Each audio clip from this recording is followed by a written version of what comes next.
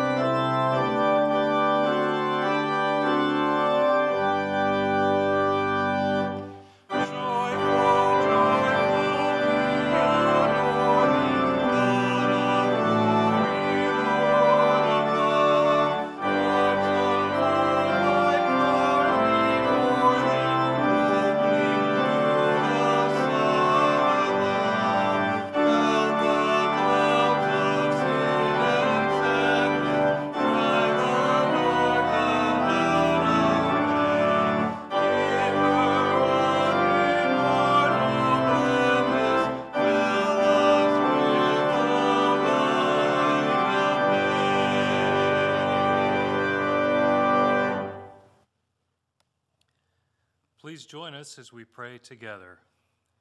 Holy God, as you have taken the impossible and turned it into possibility, as you have coaxed us to sing springtime alleluias where once there was a great dawn, as you have called us out of the tombs we inhabit into an undreamed of tomorrow, we praise you for this day. Come, risen Christ, in newness and hope on this Eastertide day. Amen.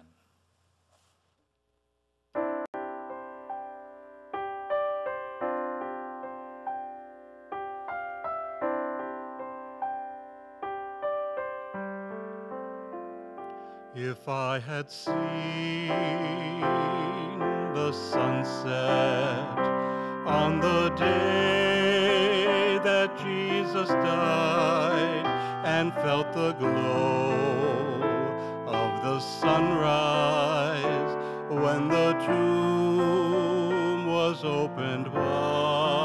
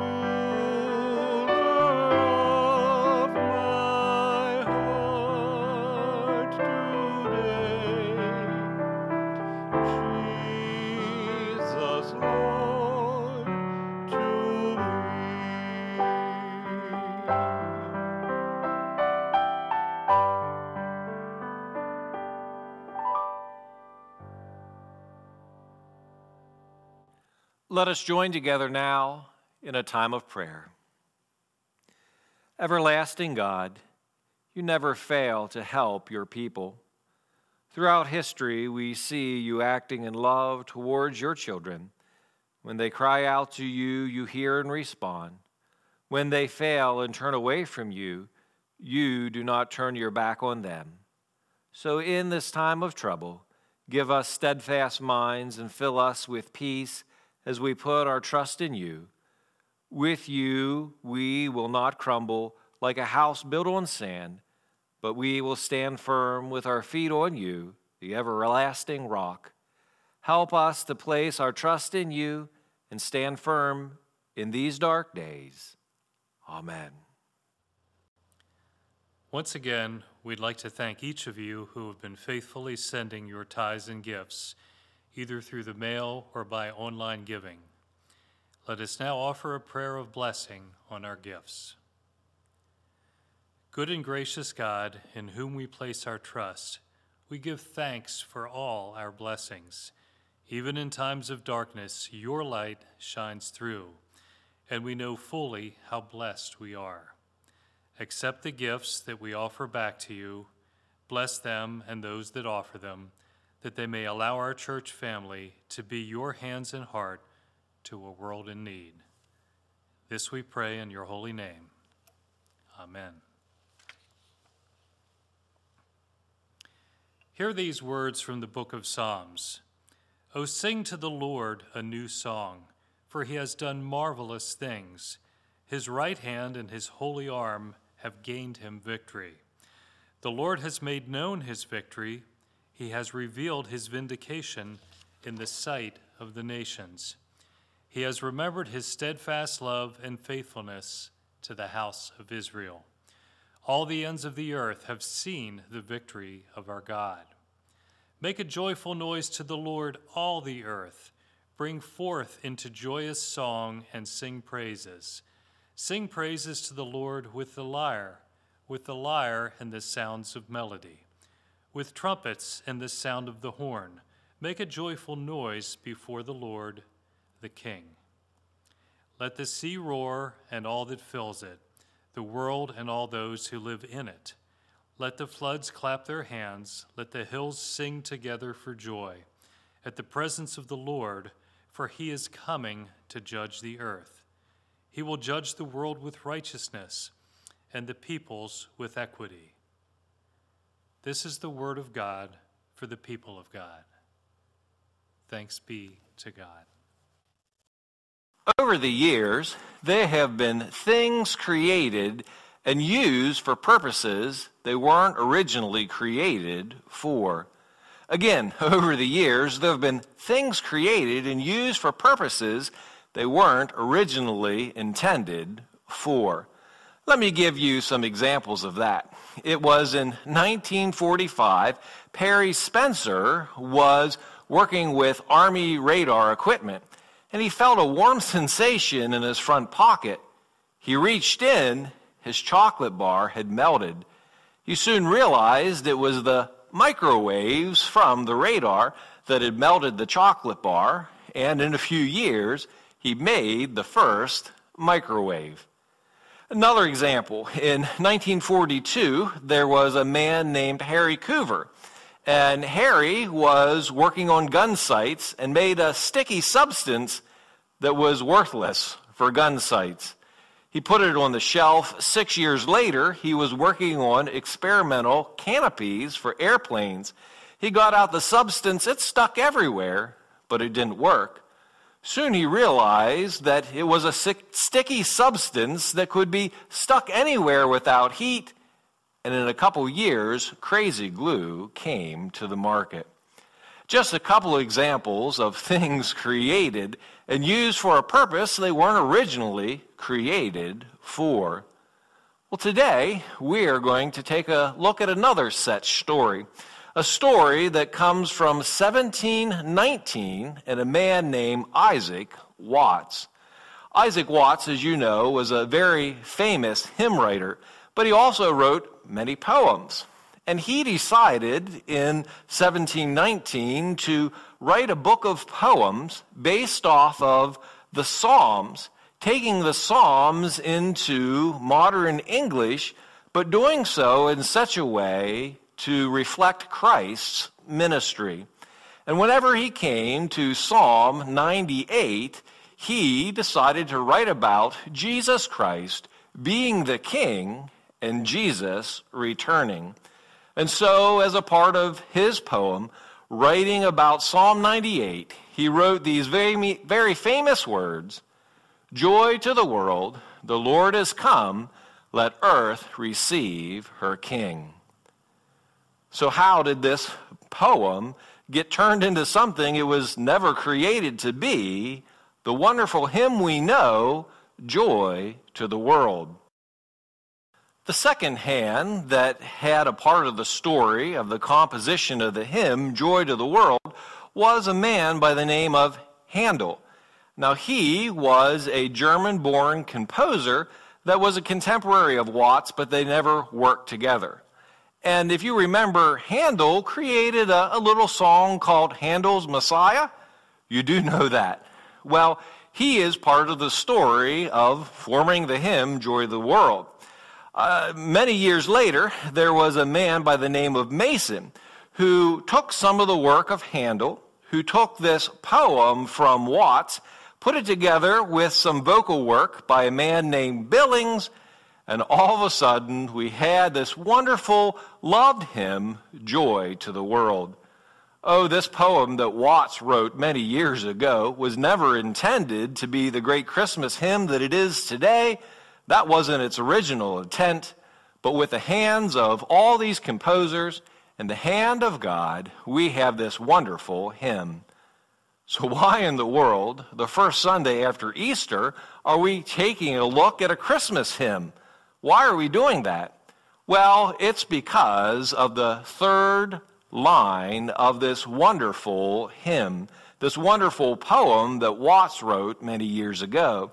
And this is the third line No more let sins and sorrows grow, nor thorns infest the ground. He comes to make his blessings flow far as the curse is found. Now, you can understand these verses if you have been following along with our journey of thorns throughout our Lenten season.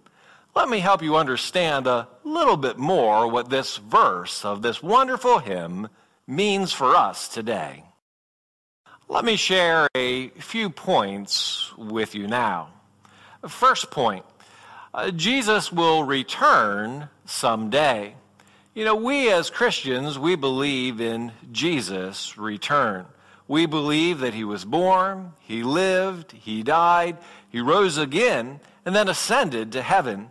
And we hear that wonderful story about how the disciples were gathered round and Jesus started to ascend to the heavens.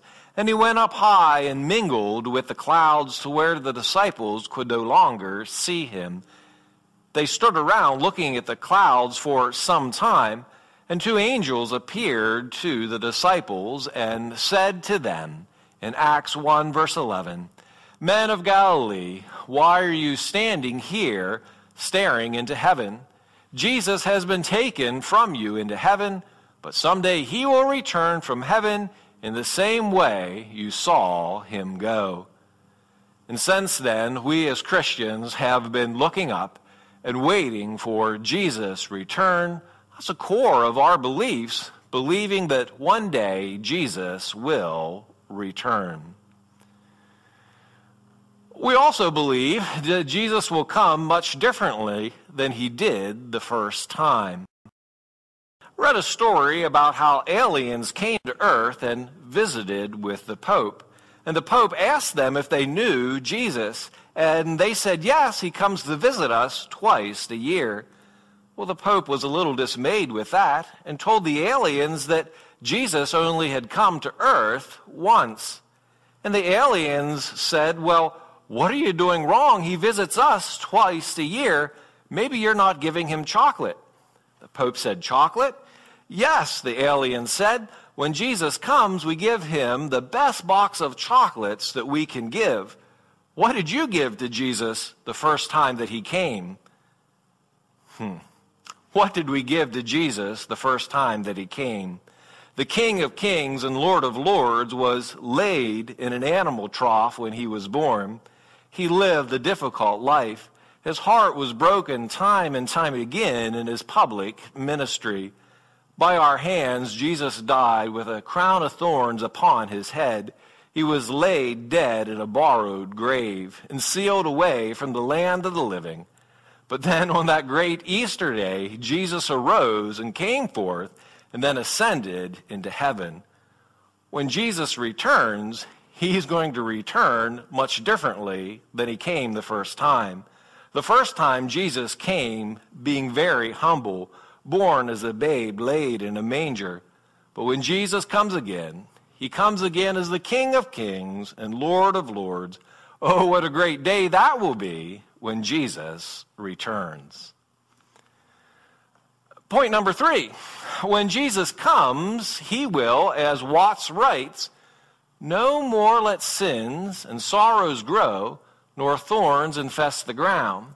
He comes to make his blessings flow as far as the curse is found. What does this mean? What is Watts writing in this poem? Well, what Watts is talking about is what we have been looking at our whole Lenten journey. Talking first about how Adam and Eve sinned and disobeyed God and was kicked out of the garden and sin entered the world. And then God cursed the serpent and Adam and Eve. And a part of Adam's curse was thorns and thistles infesting the ground. And from that time on, thorns and thistles have made life hard, has made life difficult, has pitted humans against nature trying to survive. Uh, nature and sin have separated God and people. And then in due time, Jesus came and died. And he died making a way so that we could be forgiven of sin and we could be in a relationship with God. But yet the thorns and the thistles and the sorrows they bring remain. Well, on that great day, when Jesus returns, Jesus will come as far as the curse is found, and he will do away with the thorns, do away with the thistles, do away with the sin and the sorrow. Oh, what a great day it'll be when those clouds are rolled back as a scroll and Jesus comes in victory. Another point this day Uh, Jesus will no more let sins and sorrows grow. Jesus will no more let sins and sorrows grow. Share a story with you uh, from the Towsey's backyard. Uh, over the past seven years, the Towsey family has tried, and I emphasize on try, to have grown a garden. Uh, we have had uh, groundhogs, we have rabbits, we have deer that had constantly got in the garden. And no matter what kind of fence I put up, what kind of netting, the animals and even the neighborhood kids, mine included, would get into the garden and just destroy it. So this year, I decided to do something new.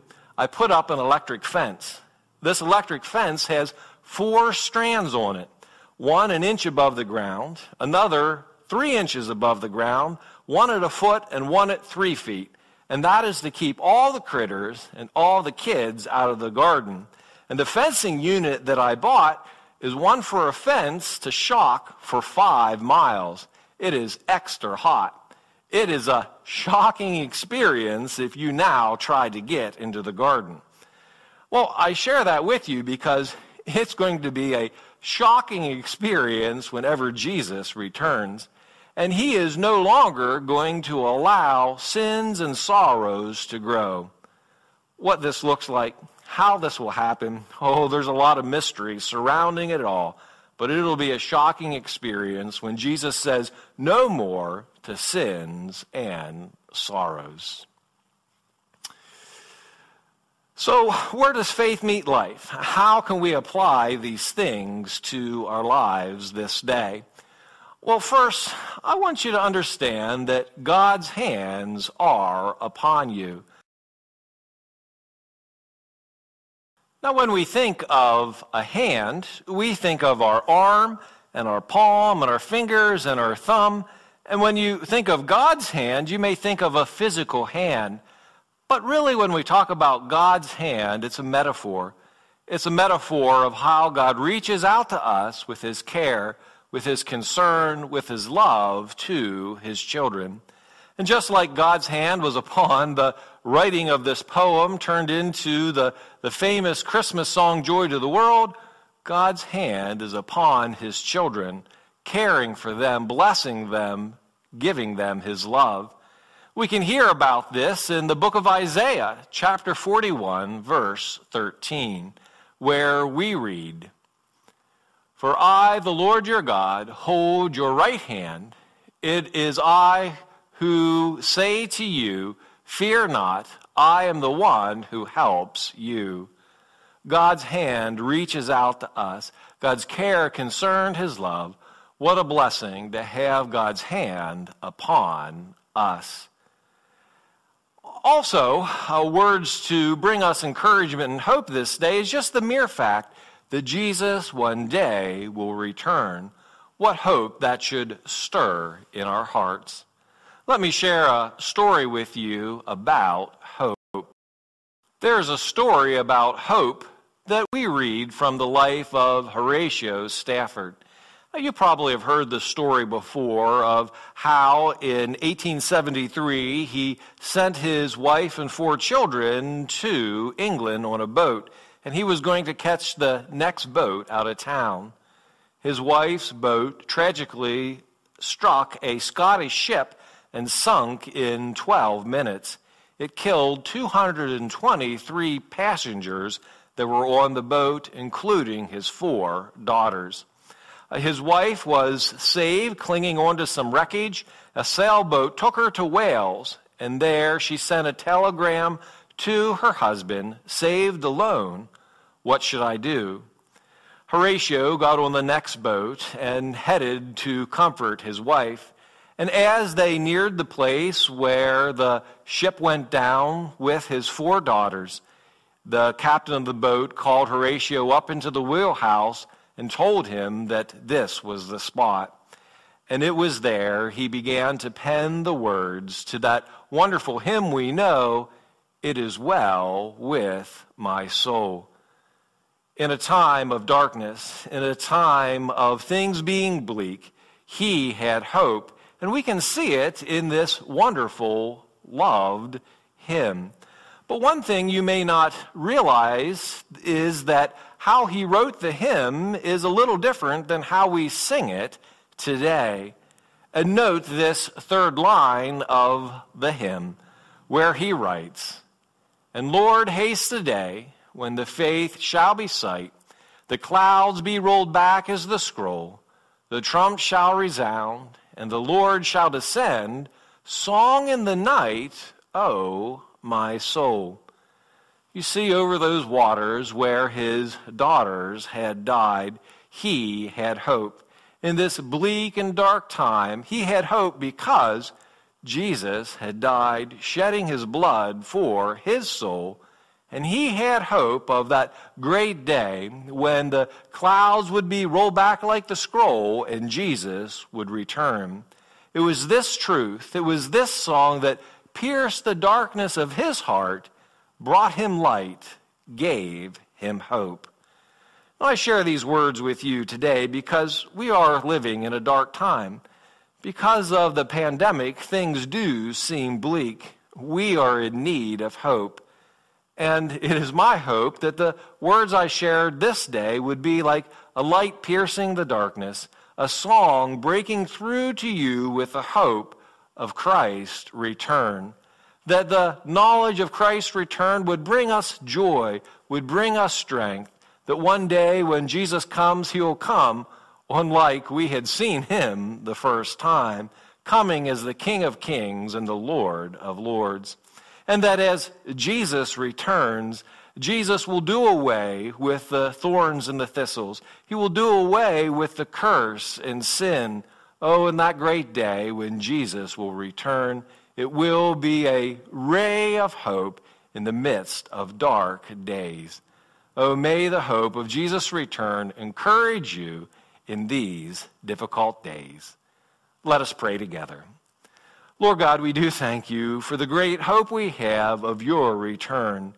As we are so anxious, as we are watching the news and hearing so much about this pandemic, Lord, as we see people die, as we see people struggle, Lord, we are in need of hope.